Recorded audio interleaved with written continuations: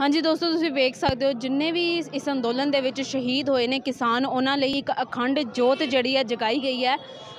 ਜਿਵੇਂ ਕਿ ਸਾਡੇ ਵੀਰ ਨੇ ਦੱਸਿਆ ਕਿ 20 ਤਰੀਕ ਤੋਂ ਇਹ ਲਗਾਤਾਰ ਜਿਹੜੀ ਹੈ ਜੋਤ ਜਲ ਰਹੀ ਹੈ। ਤੇ ਇਹਨਾਂ ਨਾਲ ਵੀ ਅਸੀਂ ਗੱਲਬਾਤ ਕਰਦੇ ਹਾਂ ਕਿ ਕਿਉਂ ਇਹਨਾਂ ਨੂੰ ਲੱਗਿਆ, ਕਿਉਂਕਿ ਸਤਿ ਸ਼੍ਰੀ ਅਕਾਲ ਵੀਰ ਜੀ। ਪਹਿਲਾਂ ਤਾਂ ਤੁਹਾਡਾ ਨਾਮ? ਜੀਤ ਸਿੰਘ ਮੇਰਾ ਨਾਮ ਹੈ। ਕੈਥਲ, ਹਰਿਆਣਾ ਦਾ ਮੈਂ ਰਹਿਣੇ ਵਾਲਾ ਹਾਂ। सर आप बताएँगे ज़रा कि क्योंकि हमने सिंगू बॉर्डर पे भी गए हैं, हम कुंडली बॉर्डर पे भी हो गए हैं, हर जगह हम देखा बट ऐसा हमने नहीं देखा। तो आपके मन में क्यों आया कि जो ये यहाँ पे शहीद हुए हैं, उनको इस तरह से अखंड जोत जला के श्रद्धांजलि देनी चाहिए? देखिए, कोई भी जंग है, ये पेट के मुद्दे हैं, किसानी मुद्दे हैं, इसको लेके ये शहादत जो इन्होंने ली है बच्चों से लेके बुज़ुर्गों से लेके मतलब सबने शहादत दी है। मैं कहना चाहता हूँ, जंग तो अभी स्टार्ट ही नहीं हुई है। ये तो सिर्फ़ एक ट्रेलर था, लेकिन थोड़ी तबीयत की वजह से या कुछ ऐसा स्ट्रेस की वजह से थोड़ा जो ये किसान हमारे बीच में नहीं रहे हैं, ये हमें याद दिलाते हैं कि हम यहाँ क्यों बैठे हैं। इनकी शहादत बेकार क्यों नहीं जाएगी? मतलब कि इनको जब हम देखते हैं ना हमारे अंदर तीस, आज तीसवा दिन है, लगातार हम यहाँ बैठे हैं। ये तो सिर्फ़ आपको कम दिखाई दे रहे हैं यहाँ पे। इसके बाद भी सात, आठ किसान और हमारे बीच में नहीं रहे। तो ये लगातार है और सरकार अभी भी मानने, आज भी देखा होगा आपने मन की बात, मोदी साहब क्या बोल रहे हैं कि ये विपक्षी है, कांग्रेसी है तो ये बिल्कुल वाहियात किस्म का, मैं तो एक गरिमा होती है प्रधानमंत्री की मतलब रिस्पेक्ट करनी चाहिए, लेकिन ये प्रधानमंत्री नहीं है, ये उसके बेस में बहरूपिया है, ये इतने किसानों को अब तक खा चुका है, आगे पता नहीं कितने जान मान की हानि कितनी करवाएगा ये तो ये जोत जगती रहेगी लगातार, तब तक जब तक हम जीत कर वापिस नहीं जाते, और अकेला पंजाब ही नहीं, पूरा का पूरा हरियाणा, राजस्थान, यूपी, मध्य प्रदेश जितना किसान वर्ग है और जिनके साथ पिछले छः साल से मोदी जी ने छल किया है, कभी नौकरी के नाम पे, कभी रोज़गार के नाम पे, जो कोई भी अपना मुद्दा उठाता उसको विपक्षी, कांग्रेसी, खालिस्तान, पाकिस्तानी, पता नहीं चाइना से फंडिंग होती इस तरह के आरोप लगा दिए जाते हैं। तो ये अब इस हिटलर का यानी मोदी का अब टाइम पूरा हो चुका है। अब सिर्फ़ बच्चे से लेके युवा और बुज़ुर्ग सब जान चुके हैं, इसकी चाल चाल सब समझ चुके हैं।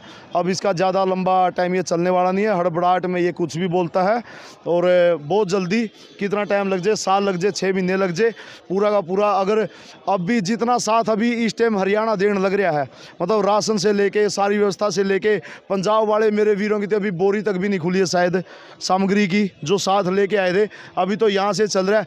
ये मतलब कितना भी टाइम लग जाए, कोई दिक्कत नहीं है।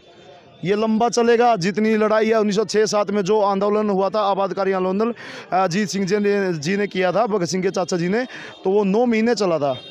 तो वही है अभी तो तीस दिन हुए हैं। जितना लंबा चलाना चलाए सरकार जितना खींचना चाहे खींचे इनकलाब भी है खून में। ये जवानी है इसी चीज़ के नाम करनी है तो इसी चीज़ के नाम करके जाएँगे। किसानी मुद्दों पर पेट के मुद्दों पर सदा अड़े रहेंगे। जी। Thank you so much sir हाँ जी। तो इधर भी हमारे भाई हैं, उनसे भी हम बात कर लेते हैं। हाँ जी, नमस्कार सर, पहले आपका नाम? नमस्कार, मेरा मोनी कालरामना करनाल से। तो सर, आप बताइए ज़रा जो हमारी आज भी मन की बात हमारे मोदी साहब ने की है, उसमें भी यही बातें हो रही हैं कि कांग्रेसी हैं, ये भड़काया जा रहा है, ये किसान ही नहीं है, ये खालिस्तानी है, कभी कुछ कभी कुछ। तो क्या कहना चाहिए मैं एक तो आपके चैनल के माध्यम से लोगों को छोटी सी बात, सिंपल सी बात बताना चाहता हूँ।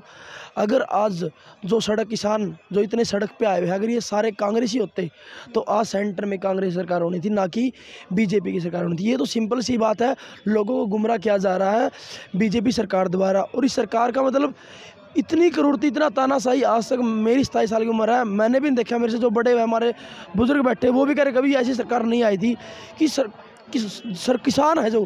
किसान को बोल रहे कि फ़ायदा मिल रहा है इस तीन कानून से।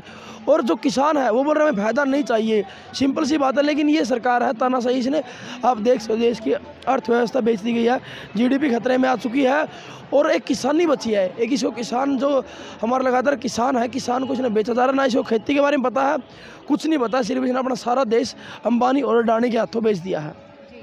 सर यूपी से आने वाले जो है अभी जैसे कि हमारे सुप्रीम कोर्ट ने ये ऐलान कर दिया है कि जब तक चाहे किसान ये आंदोलन शांतिपूर्वक ये प्रदर्शन कर सकते हैं पर उसके बावजूद भी जो यूपी सरकार है वो इस आंदोलन में शामिल होने वाले किसानों के ऊपर तशद्दद ढा रही है, उसके बारे में आप क्या कहना चाहेंगे? सुप्रीम कोर्ट का आदेश था कि अपना जो किसान है, वो अपना प्रोटेस्ट कर सकते हैं, अपनी मांगे मांग सकते हैं, लेकिन जो ये बीजेपी सरकार है, इसका मेन मकसद तानाशाही है।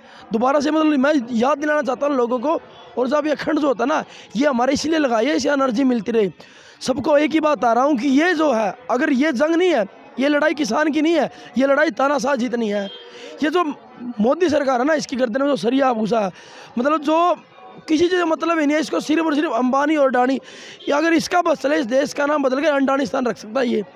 और कोई बड़ी बात नहीं है, कभी किसानों, हरियाणा वालों को आतंकवादी बोलता है, पंजाब से आए हमारे जो किसान भाई हैं, उनको ये खालिस्तानी बोलता है। आप ग्राउंड लेवल पर रिपोर्टिंग करते हैं।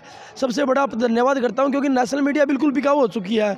आपके चैनल के माध्यम से ग्राउंड आप मतलब नीचे जो ग्राउंड लेवल पर रिपोर्टिंग है, वो आप कर रहे हो, लोगों को बता रहे हैं। और आपने अब तक देखा कोई ऐसा? आप भी ग्राउंड लेवल रिपोर्टिंग और आपको कोई ऐसा दिखा है? सिर्फ़ यहाँ पे किसान मिलेंगे आपको। और जो देखना चाहता है ना, जो अंधभक्त है, उनसे मैं हाथ जोड़ के निवेदन करता एक बार यहाँ आके देखें।